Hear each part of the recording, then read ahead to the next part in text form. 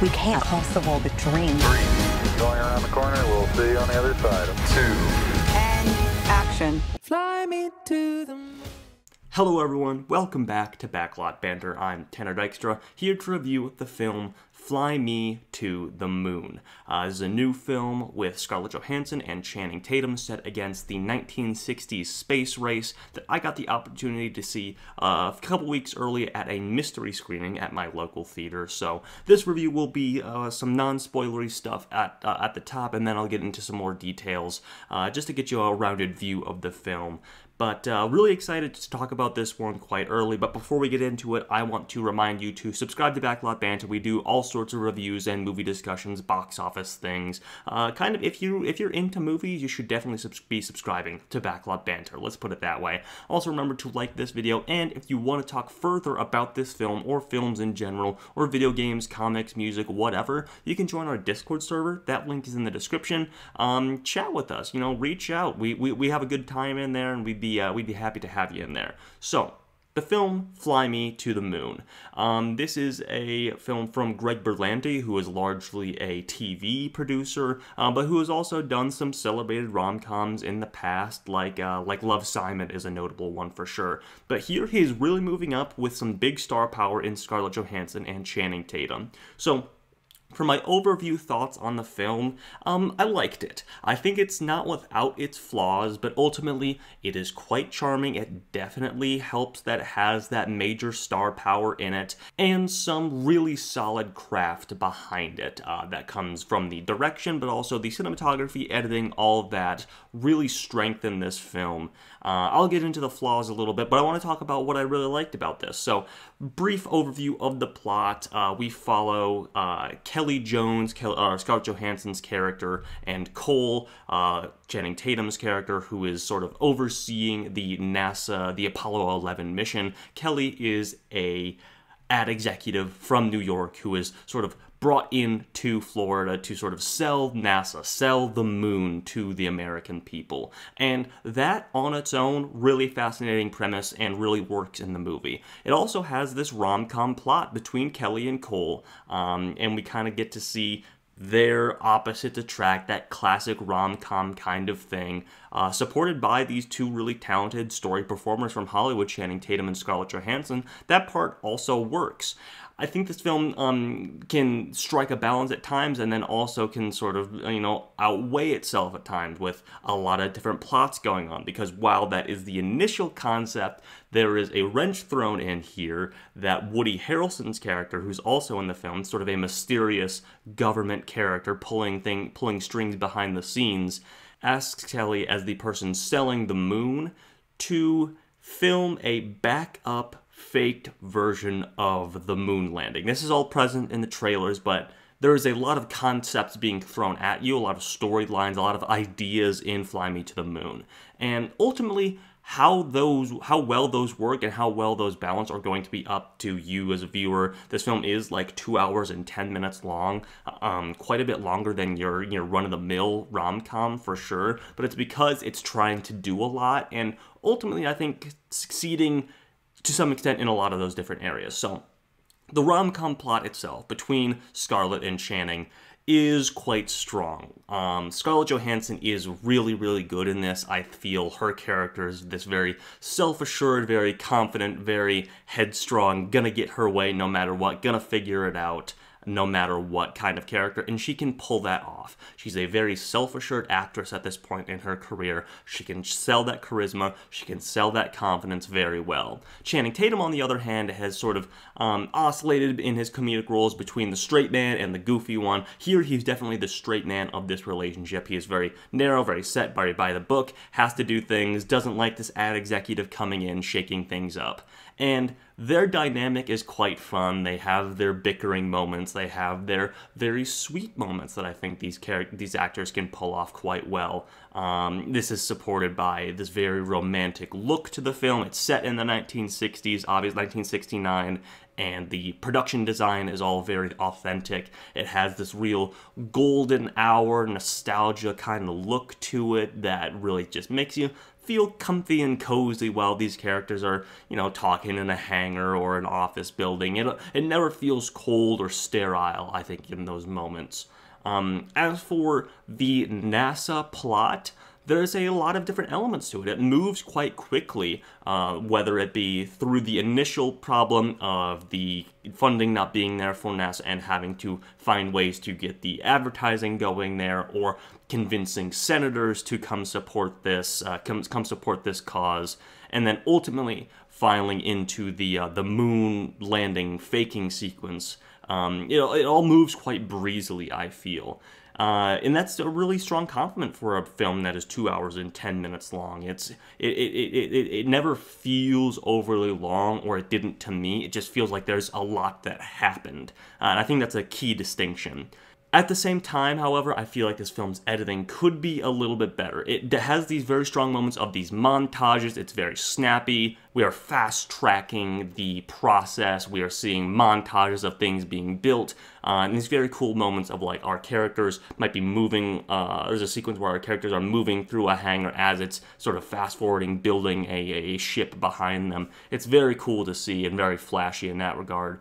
But also, I felt at times that there were moments where scene to scene, moment to moment, our characters, uh, particularly Scarlett Johansson and Channing Tatum's characters might have had an argument in a previous scene, and then suddenly, one or two moments later, where they hadn't interacted, they're just talking like normal, like nothing has really happened, like nothing has really transpired in their relationship. I think it's because the film really only has one big emotional punch in it, uh, and that has to be saved towards the end, towards that third act moment no, one big emotional punch for their relationship, I guess I, should specify. This film has some very serious moments and can lend to being a little bit rocky tonally. Um, I think there's a lot of like historical kind of period goofy uh, comedy for it that might be a little bit outweighing the romance, and then at times it, it delves into the quite serious. Uh, that's this is a bit more spoilery stuff that I won't get into right now. It can delve into serious topics that um, might, you know, assuage the um, the comedy viewers, people going to this for comedy it's kind of got something for everyone. I kind of view it as a sort of uh, appetizer platter of a film, where it's got a lot of different genres, a lot of different types of uh, comedy, um, but all anchored ultimately by our two strong leads here and a strong supporting cast as well. They're very endearing. Um, one of the big ones is Jim Rash, who is this uh, friend of Scarlett Johansson's character, who's a film director, or not, he's a commercial director who's very difficult, very uh, uppity about all the, all these things on his set, who has to be brought in to direct the fake moon landing footage. And he's uh, there's a lot of comedy born out of him. Um, he, you might recognize him from his role as the dean in community and he's bringing a lot of that same energy here. It's very good. There's also some you know various nasa characters who are quite cute quite fun. Um, there's even a little you know a side romantic subplot going on there that is endearing. It's heartwarming. It's it, it's a good time for sure. I guess ultimately that's kind of my feelings on the film is that it can be a little rocky, a little, you know, um, poorly paced at times, but all around good time, looks good, is funny. I don't think there were any jokes that fell flat in this. There's actually a really fun cameo during one of the montages here that I think works quite well, um, playing in on the audience's knowledge of these stars and their place in pop culture and things like that. You'll see. I don't want to. I don't want to spoil it, but it's it's a good time. It's a really good joke. You'll know who I'm talking about if you see the film. But yeah, I uh, I like this one. I think that it has a little something for everybody. It's very approachable. You can definitely watch this by yourself or go on a date with a partner to go see this. You can even watch this, you know, with your family in the theater or when this ultimately hits probably Apple TV Plus. I would assume this is an Apple film. Um, watch this at the holidays. Um, it's got that nostalgia stuff for parents or grandparents and then everyone kind of recognizes these two strong stars in Scarlett Johansson and Channing Tatum. So it has, it really is very approachable, very light, very fluffy, while packing in a lot of material in it uh, with that two hour, 10 minute runtime as well. And that might turn people off as well. You know, people uh, might be a little suspicious of this film being over two hours long, but at its core being a rom com. And it is that, and I can't I can't see that as an issue for some people, but I just didn't feel that. I think it packs a lot of its a lot of its punches, a lot of its ideas into that runtime, nonetheless. So I'm going to go a hmm, I'm gonna go a 7.2 out of 10 for this. Good movie, really enjoyed it, fun time, um, but the issues are there, they are prevalent. So that's my uh, non-spoiler thoughts on the film. I'm going to get into a couple different plot elements here just quickly. Namely, and this is this is the spoiler thing I was talking about earlier, one of the big emotional punches that it tries to pack, and somewhat effectively, I would say, is Channing Tatum's character was present for the Apollo 1 mission. He was not an astronaut, but he was overseeing the project. And this is something that is cashed in quite a few times across the film. This fact that he oversaw the loss of life of three of his friends, three fellow astronauts. Um, and he's haunted by that, and that's kind of that informs his character, uh, who has to do things by the book and doesn't want you know these wrenches thrown into his program because he has to stay focused and make sure this doesn't happen again. They catch that moment in a number of times. One scene in particular where he's sort of jabbed and prodded by this news interviewer, and it just kind of sticks out to me. It, it's it's this like almost like an Oscar clip moment for Channing Tatum, and it really feels separate from a lot of the tone of the rest of the film. Because he's sad about that at times, but this moment he is really flared up, yelling, and has to be calmed down and sort of ushered out by Scarlett Johansson. It's a good acting moment for Channing Tatum, but I'm not just not sure if it fits with the mesh the rest of the film, if it meshes with this sort of relatively light and fluffy mood that the rest of the film has. Scarlett Johansson has her own tragic backstory as well that I'll, I'll talk about here briefly, where her mother killed a person in North Dakota when she was young because there was sort of these traveling uh, hucksters and running scams on people, and that's where she learned her skills of confidence and advertising and selling and things like that. And that's that that's that's her big secret. And you either take that out and just have her be this character with this kind of backstory where she, you know, um, she she doesn't let people close to her. She's uh, lived she's lived many lives, or she's you know she she sort of puts up these walls of confidence.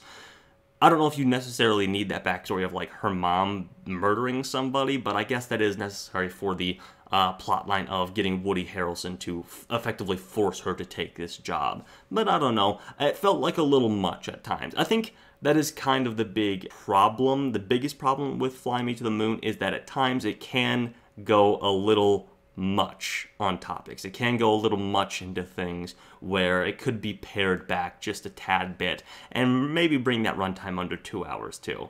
And yeah, I think that's I think that's largely it. That's the that's the the most of the things that I wanted to talk about. This film looks great as well. This um, I'm not sure what the budget of this is, but a lot of the visual effects are looking quite good. The production design, as I mentioned, is kind of flawless and good running jokes. There's the the cat on the poster that plays a running gag throughout the film and plays a key part at the end of the film that's quite funny. And these big triumphant moments, you know, it's hard not to get romantic about the space race and Apollo 11 and the astronauts going to the moon. And this film knows that, recognizes that, and knows when to cash those moments in in that screenplay in the direction, uh, really bringing out the romantic side of that uh, that Americana, which is why I think this is really a good summer rom com. Uh, it has something for everybody, as I've said, and it's got two great charismatic leads in it.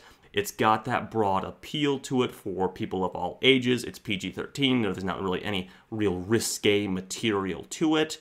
Really enjoyed this one. I would say go check it out for sure, uh, especially because we're not getting a lot of other films like this, especially in theaters right now. Um, we're sort of in the domination of the summer blockbuster era. So go check out Fly Me to the Moon. I would uh, I would definitely recommend this one.